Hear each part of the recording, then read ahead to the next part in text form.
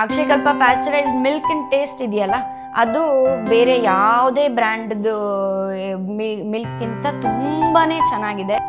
ಪ್ರತಿದಿನ same consistency ಇರುತ್ತೆ same quality ಇರುತ್ತೆ.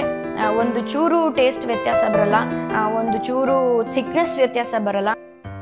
ಅಕ್ಷಯಕಲ್ಪ ಪ್ಯಾಸ್ಚರೈಸ್ಡ್ ಹಾಲನ್ನು ಒಂದೂವರೆ ಲೀಟ್ರ್ ತೊಗೊಳ್ತಾ ಇದ್ದೀವಿ. ಅದನ್ನು ಕಾಯಿಸಿ ಅದರಿಂದ ಕೆನೆ ತೆಗೆದು ಕೆನೆ ವಾರಕ್ಕೆ ಒಂದ್ಸರಿ ನಾನು ಕಡ್ದು ಕಡಿತೀನಿ. ತಿಂಗಳಲ್ಲಿ ಸಾಧಾರಣ ನನಗೆ ಮುಕ್ಕಾಲು ಕೆ ಜಿಯಷ್ಟು ನನಗೆ ತುಪ್ಪ ಬರುತ್ತೆ. ಅದು ಮನೆಯಲ್ಲಿ ಎಲ್ಲರಿಗೂ ಇಷ್ಟ. ಅಕ್ಷಯಕಲ್ಪದವ್ರದ್ದು ಪನ್ನೀರು ನಮಗೆ ತುಂಬ ಇಷ್ಟ ಆಗುತ್ತೆ ಯಾಕೆ ಅಂತ ಹೇಳಿದ್ರೆ ಅದು ಬಾಗಿನಲ್ಲಿ ಇಟ್ಟ ತಕ್ಷಣ ಕರಗುತ್ತೆ ಅಂತ ಹೇಳ್ತಾರಲ್ಲ, ಆ ಥರ ಆಗುತ್ತೆ.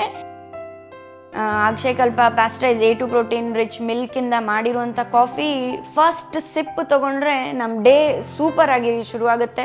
ಹಾಗೇ ರೀತಿ ಸೂಪರ್ ಆಗಿ ಎಂಡ್ ಆಗುತ್ತೆ ಅನ್ನೋ ಒಂದು ಕಾನ್ಫಿಡೆನ್ಸ್ ಇದ್ದೇ ಇರುತ್ತೆ.